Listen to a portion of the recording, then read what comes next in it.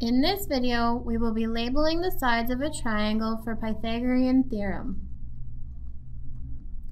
The first step in solving for a missing side length on a right angle triangle is to label the sides of the triangle.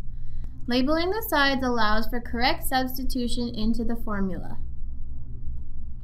The vertices of a triangle and the corresponding interior angles are labeled with uppercase letters.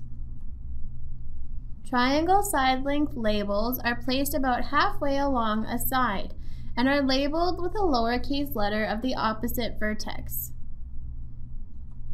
R is the side opposite the right angle R, also called the hypotenuse. X is the side opposite the acute angle X. Y is the side opposite the acute angle Y. When substituting into a formula, side r corresponds to the hypotenuse.